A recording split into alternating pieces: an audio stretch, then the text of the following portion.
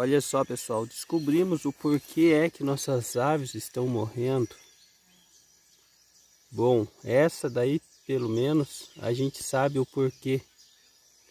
Bom gente, não vou mostrar a imagem da galinha morta.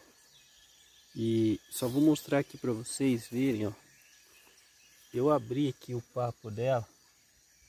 Olha só, o que tinha dentro do papo da galinha. Eu não mostrei, eu não fiz o vídeo, a gente abrindo o papo dela, abrindo ela ali, porque o YouTube poderia cortar o nosso vídeo, excluir o nosso vídeo. Deixa eu virar aqui para falar com vocês, enquanto eu vou sentar aqui e vou falar com vocês a respeito dessa galinha ali, beleza? Bom pessoal, essa aqui é a terceira ave que nós perde aqui no sítio em pouco tempo. Primeiro foi a nossa pavoa, a gente perdeu é, do nada, morreu do nada, também estava bem gorda, bem gordinha ela, estava sendo bem tratada, bem cuidada. Nossa galinha da Angola morreu também de repente, simplesmente do nada bateu as asas e morreu. E essa galinha aqui é uma das minhas galinhas gigantes, por sinal é a segunda galinha maior que eu tenho aqui no sítio, que eu tinha aqui no sítio, é essa aqui. E a gente acaba de encontrar ela morta aqui na beira do, do riacho, do, rio, do riozinho aqui, da aguinha. E a gente na dúvida, sem saber o que é que está acontecendo, né, com nossas aves, aí eu decidi abrir o papo dela ali, porque eu vi que estava bem estufado, já suspeitava que ela pudesse ter engolido alguma cobra venenosa e morrido por conta disso, por, porque estava bem é, de ar, cheio de ar o papo dela, né? E não tinha nenhum aparente machucado e ela estava bem e também morreu do nada. E a gente está fazendo a limpeza aqui do sítio, fazendo a limpeza por em volta e eu já encontrei duas, duas jaracuçuzinhas, filhote de jaracuçu, são uma das cobras mais venenosas que tem aqui na região e é uma das mais venenosas também do Brasil, né? E a galinha engoliu uma das uma jaracuçu filhote.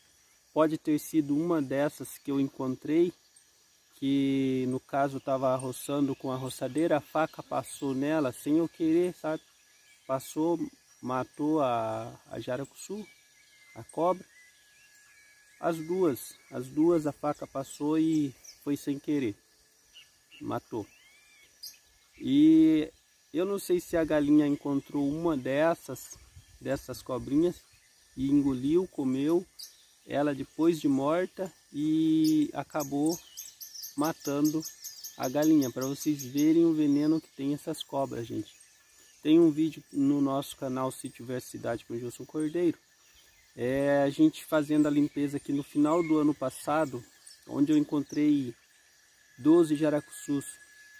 Foi 11 pequena e uma muito gigante, muito grande. E eu fiz o vídeo. Fiz o vídeo, postei no canal, muita gente criticando, muita gente falando, só que não sabe o local que a gente está, não sabe onde a, a gente se encontra, o grau de dificuldade que é para chegar e para sair daqui, né?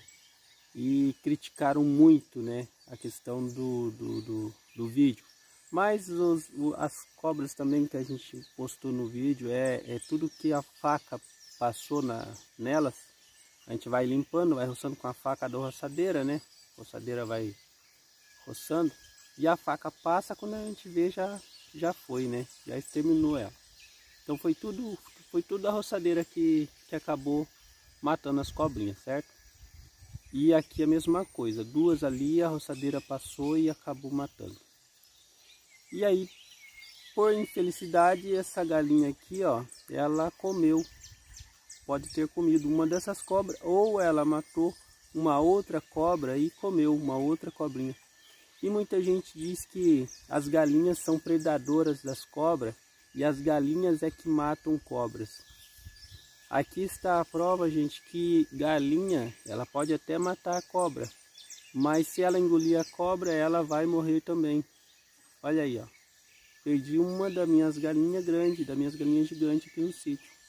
Então eu estou fazendo esse vídeo aqui para mostrar para os, para os playboy de apartamento aí, os, os naturalistas que defendem aí a questão das cobras peçonhentas e vive criticando muitas das vezes a pessoa do sítio, a pessoa da roça, né?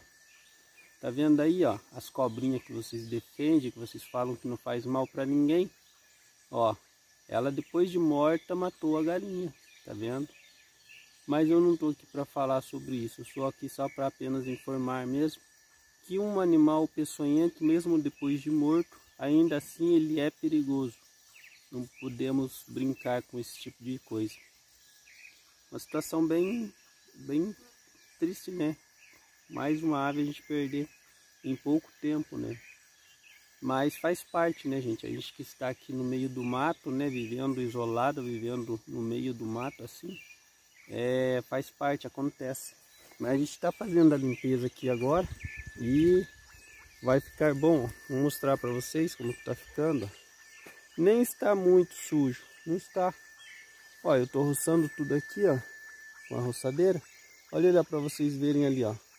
Ali o jeito que está ali, ó, a graminha.